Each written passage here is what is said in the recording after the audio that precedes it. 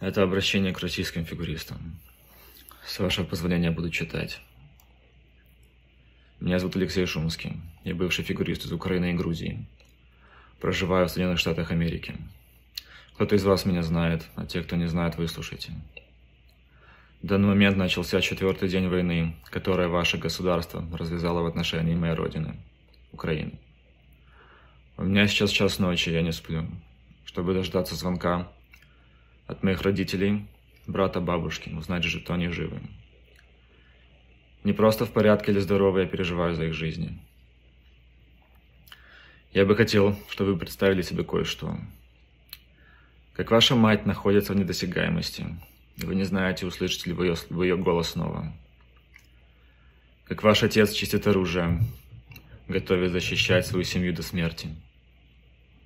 Как ваши дети плачут и кричат «Мне страшно, я хочу жить». А братья и сестры уходят из дома и не знают, вернуться ли обратно. Это все сейчас происходит с нами, в Украине. Когда ваша спортсменка Валиева попала в допинговый скандал, вы не стеснялись высказывать ей слова поддержки, постить видео, фотографии и рассказывать, как мир несправедлив по отношению к ней и к России. Очевидно, это крайняя черта вашей смелости и гордости. Почти никто из вас не сказал ни слова в поддержку Украины.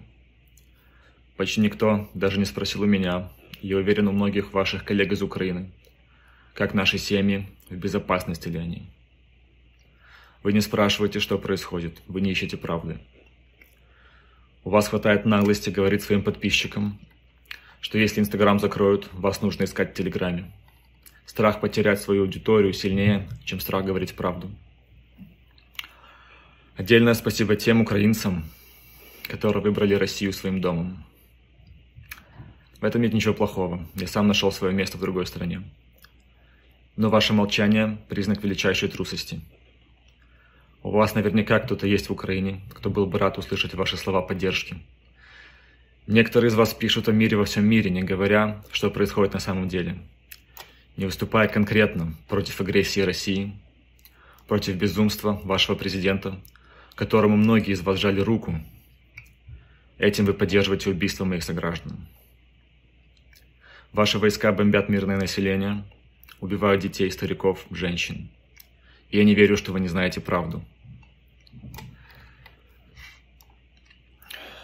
Русские граждане вас любят, у вас огромная, иногда миллионная аудитория – вы спортивные герои в их глазах. Так покажите, что вы герой не только на льду. Покажите, что вы герой в сердцах и душах. Ваш голос может и будет услышан вашими соотечественниками. Сделайте то, за что вам не будет стыдно рассказывать своим детям, а им придется рассказывать. Режим, в котором вы живете, подходит к концу. И когда-то они вас спросят, что вы сделали, чтобы помочь. Что вы сделали, чтобы предотвратить эту убийственную войну с народом, которым вы называете братским? Сейчас у вас еще есть шанс сделать правильный выбор. Слава Украине!